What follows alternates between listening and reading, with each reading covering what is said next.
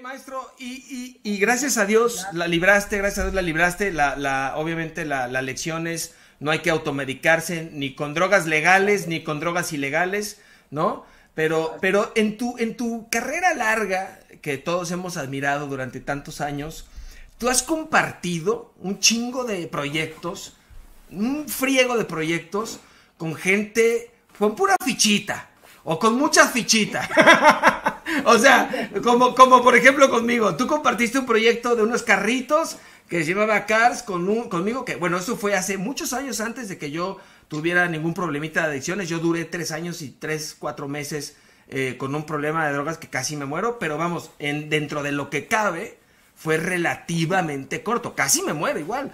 Pero tú has trabajado también con otras fichitas, pero fichitas también, de, esas fichitas de, de, ese cine de los setentas, de los ochentas, en donde ya me imagino las que se armaban.